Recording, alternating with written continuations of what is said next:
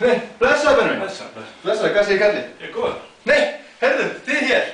Hóið svo, blessa. Komið saman blessuð þeirri, við ætlum einmitt að kenna íslenska landsliðinu hvernig á að gefa double five. Ha, hefur látað að verða þessu?